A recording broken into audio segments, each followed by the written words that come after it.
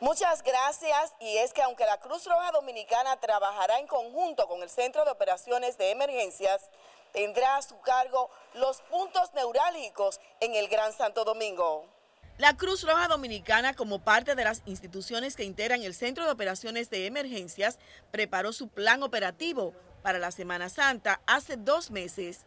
Así lo explicó la directora de gestión de socorro, Altagracia Capellán. Contamos con aproximadamente 8.700 voluntarios y estos están eh, diseminados en 644 puestos que pertenecen a las 126 filiales eh, que están eh, integrados en las 32 provincias del país. Altagracia Capellán precisó que los voluntarios de la Cruz Roja están preparados para dar asistencia con el apoyo del 911. A pesar de que en los puestos estratégicos suceda algún accidente o una eventualidad, el voluntario nuestro está ahí para dar los primeros auxilios, pero es importante que una vez suceda la eventualidad del accidente, el voluntario en lo que va dando la asistencia indique a otra persona llamar al 911.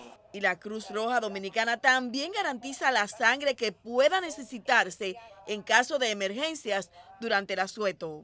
Pero si se da el caso de que llegaran a necesitar, tenemos toda la disponibilidad a disposición de nuestra sociedad.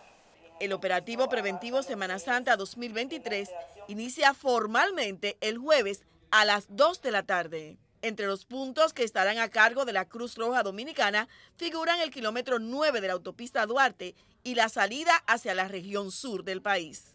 Y durante el operativo preventivo Semana Santa 2023, la Cruz Roja Dominicana entregará más de 4.000 kits preventivos personales aquí en el Gran Santo Domingo. Retorno con ustedes al estudio. Martina Espinal les informó.